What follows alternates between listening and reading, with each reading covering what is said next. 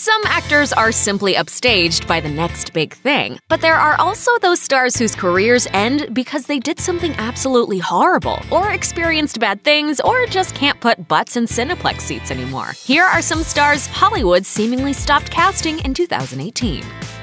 Jeffrey Tambor was among television's most respected and versatile actors. An industry veteran of groundbreaking television, Tambor earned four Emmy nominations for his work as self absorbed talk show sidekick Hank Kinsley on The Larry Sanders Show, then moved on to portray a comically terrible father and fallen construction tycoon wanted for a little light treason on Arrested Development. He then took on the role of a lifetime, Maura Pfefferman, an individual transitioning from male to female on Amazon's Transparent. His impressive work on the series makes his alleged behavior behavior on the set all the more shocking and disappointing. In February 2018, Amazon fired Tambor from Transparent after Trace Lysette accused the actor of multiple acts of sexual harassment. The actor denied any wrongdoing, but because of these allegations as well as revelations that he verbally harassed Arrested Development co-star Jessica Walter, few in Hollywood are willing to work with Tambor right now. The comeback and fall of Roseanne Barr happened so fast that the world of TV is still nursing its collective whiplash. The new Roseanne finished the 2017 to 2018 season as the third most watched show on TV, but then Barr had to screw it all up. On May 29, 2018, Barr tweeted a racist joke about Valerie Jarrett, an advisor to President Barack Obama. Barr apologized, saying it was just a tasteless joke, but then she blamed her actions on being under the influence of the sleeping pill Ambien. Later on, Barr posted a YouTube YouTube video claiming she didn't even know Jarrett was African American. Ignoring Barr's defenses, ABC canceled Roseanne. The network reworked the show into The Conners, in which Barr's character, just like her career, has died. Lea Michele is supposedly a bit of a diva, and it isn't something she's very shy about. In 2011, Michele told Allure, I came from the theater world where the word diva was awesome. But as awesome of a performer as she may be, the former Rachel Berry didn't make a lot of friends during her time singing Journey songs with other actors pretending to be teens on Glee. In Naya Rivera's 2016 memoir Sorry Not Sorry, the actress who played Santana Lopez detailed the slow disillusion of her friendship with Michele. Rivera claims their relationship crumbled when she cut into Michele's stardom with more time on screen. She also said she took the brunt of Michele's blame for anything at all that went wrong on set. Michele's diva attitude might not have been fatal if her first big post Glee TV show hadn't been such a spectacular bomb. In January 2018, ABC canceled her sitcom The Mayor after just nine episodes, putting the kibosh on a 2018 comeback. Affable comic actor Jason Biggs has had a few hit movies over the past two decades, but they're almost all entries in the American Pie franchise, which sees his character mature from a pie loving teen to college student to family man. Producers aren't too keen to bank on the star of flops such as Loser, My Best Friend's Girl, and Saving Silverman. Nor are they going to cast him in shows when his big TV starring vehicle, Mad Love, was cancelled after 13 episodes. Another possible reason for Biggs not landing more roles he's mean. He has a history of trashing American Pie co star Tara Reid on talk shows like In Bed with Joan and Watch What Happens Live. He's also one of a growing number of celebrities who should just stay away from Twitter. While Biggs was voicing Leonardo on Nickelodeon's Teenage Mutant Ninja Turtles, the network came under fire for linking to the actor's personal Twitter account after Biggs tweeted off color remarks about Ann Romney and Janna Ryan during the 2012 Republican National Convention. Honestly, the last time Biggs made headlines for his work rather than his bad behavior was when he was let go from the cast of Orange is the New Black in 2015.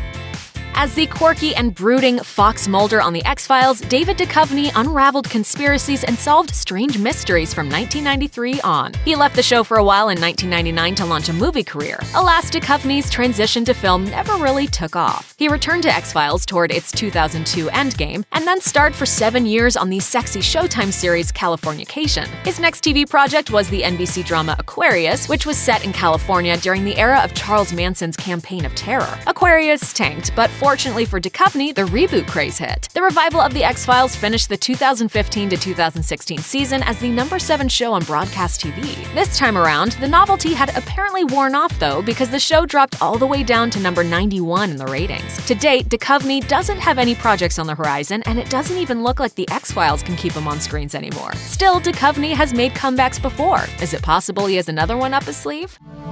How the hell should I know? Unfortunately, Hollywood has a tendency to chew up child actors and teen idols and spit them back out before moving on to the next hot thing. Or Taylor Lautner was both child actor and teen idol, starring in The Adventures of Shark Boy and Lava Girl 3D and Cheaper by the Dozen 2 while just a lad, and then portraying teen dream werewolf Jacob Black in all five Twilight movies.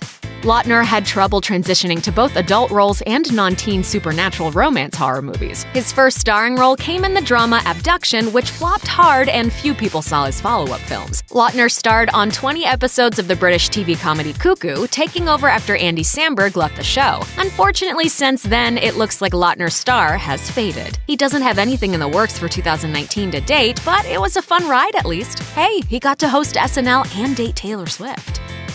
After the Harvey Weinstein scandal broke, one of the first actors whose careers ended overnight was Kevin Spacey. A total of 15 people spoke up about Spacey's past assaults and unwanted actions, most prominently Star Trek Discovery star Anthony Rapp, who says Spacey made sexual advances towards him when he was 14 years old. Spacey issued a bizarre statement in which he apologized for his actions, although he said he didn't remember the encounter and appeared to shift the narrative by coming out as a gay man. Not only did Spacey fail to secure future work, but his past past and present work came to an end as well. Netflix announced plans to do one more season of House of Cards without him, leaving the show in the very capable hands of actress Robin Wright instead. Director Ridley Scott took the unprecedented step of eliminating Spacey from All the Money in the World after the actor had already filmed his scenes, replacing him with Christopher Plummer only weeks before the film's release. Plummer got a Best Supporting Actor nomination at the Academy Awards, while Spacey has virtually disappeared off the face of the earth.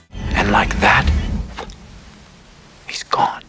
By the end of its seven season run in 2018, Fox's New Girl was no longer the widely watched or much discussed show it had been during its first few seasons, but it did transform its talented cast into TV and movie stars. For example, Damon Wayans Jr. and Max Greenfield moved on to CBS's Happy Together and The Neighborhood, respectively. Lamorne Morris co starred in the hit Game Night and has a bunch of projects in the works. Only Zooey Deschanel, the show's biggest star when it began, doesn't have much going on right now. Perhaps she's just taking a break after headlining a sitcom for seven seven years, or maybe she wants to spend more time with her two kids, both of whom she was pregnant with while New Girl was in production. Let's hope we'll hear more from her down the road.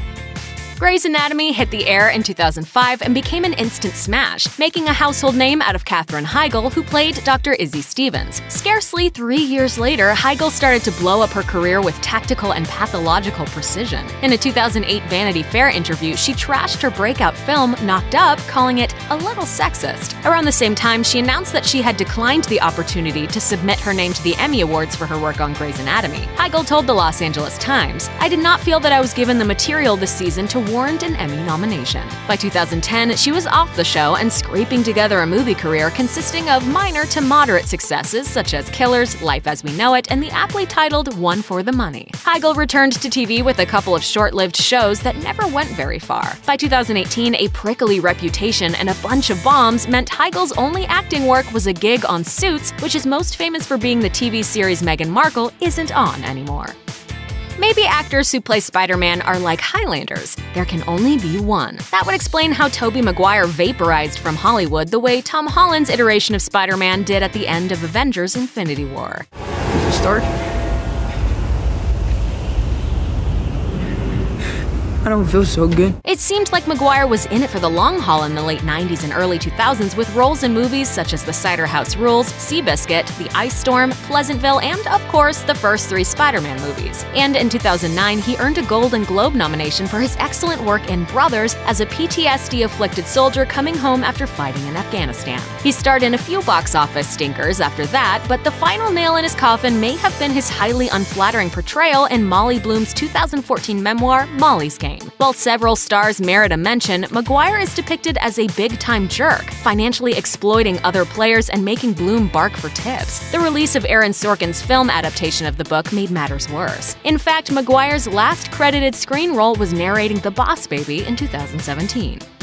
Dustin Hoffman turned 81 in 2018, and that's probably part of the reason why his long Oscar winning career came to a halt recently. A Hoffman movie hasn't been released since 2017, but there's more to this story. In December 2017, multiple women came forward to accuse Hoffman of some horrible stuff. One woman says the actor exposed himself to her in a hotel room when she was a teenager. Another claims he sexually assaulted her during an audio recording session for Ishtar, and another says Hoffman forced himself on her in the back of a car. Yet another accused Hoffman of groping her when they both starred in Death of a Salesman on Broadway. Considering how unforgiving Hollywood has been lately to actors accused of abusing women, things don't look great for Hoffman's career. Jeremy Piven was a hardworking character actor for years before he found the role that brought him lasting fame and three Emmy Awards as Ari Gold, sleazy agent to dude bro actor Vincent Chase on the era defining 2000s comedy Entourage. After Entourage wrapped in 2011, Piven moved on to slightly more grown up fare, such as the PBS series Mr. Selfridge, and in 2017, the CBS crime procedural Wisdom of the Crowd. Alas, it would seem the gross behavior so often embodied on Entourage was the kind of thing that Piven engaged in off screen too. Playboy model and The Real Housewives of Toronto star Erin Bellamar accused Piven of repeatedly groping her in his trailer on the set of Entourage. Piven denied all allegations, but less than a month later, CBS canceled Wisdom of the Crowd. Piven's pickings have become very slim. His only future appearances are in the movie's All Star Weekend, which wrapped up filming before the scandal broke, and Ghost Killers, which is currently filming.